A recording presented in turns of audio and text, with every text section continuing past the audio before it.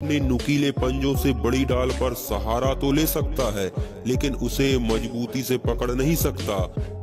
और बंदर इसी का फ़ायदा उठाकर पतली डाल पर जा बैठता है और उसे पकड़ने के चक्कर में टाइगर जनाब अपना संतुलन खो देते हैं।